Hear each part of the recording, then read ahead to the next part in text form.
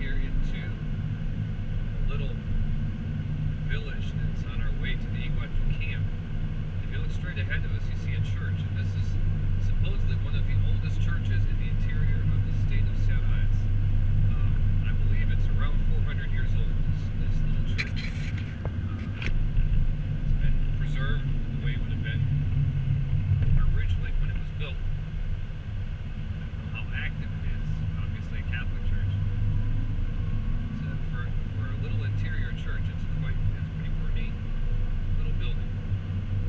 video we're going to